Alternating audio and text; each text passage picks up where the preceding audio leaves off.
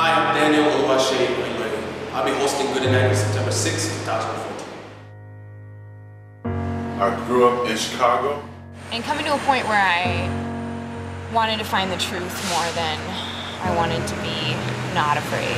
Whenever I paint something or whenever I say anything, I make sure it has a lot of meaning or intent behind it, I guess. Um, I went and picked up sticks. Like I was just like so just so fascinated. My parents church goers, they love church. Like I'm my we went to church every single day of the week. If it was like revival, we went to church every day, of every week. So I had to pick up something.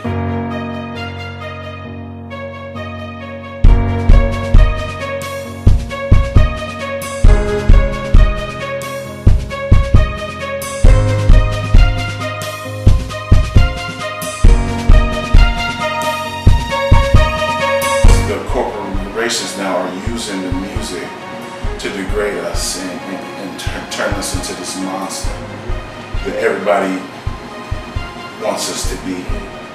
Um, did you know inside of you that you were gonna paint? No, not at all.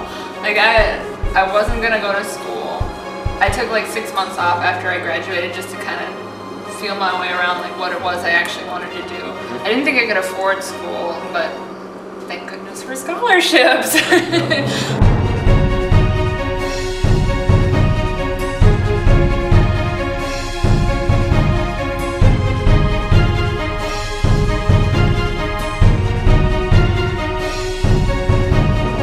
The most powerful gift that that I believe God gave us was the power to forgive.